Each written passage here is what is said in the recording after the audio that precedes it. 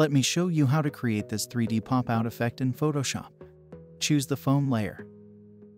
Go to Tools and choose the Magic Wand tool. Click here to make a selection. Create a new group. Add a layer mask. Go to Adjustment Layer and choose Solid Color. Choose the white color and then press OK. Right-click on the group layer and let's color it. Unhide this image layer. Now drag the image lay inside that group.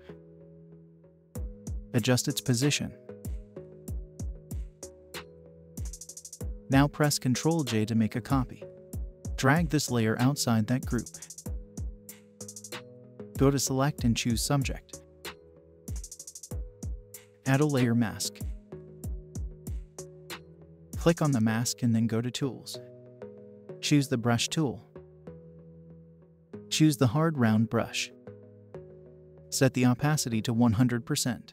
Set the foreground color to black. Follow this process.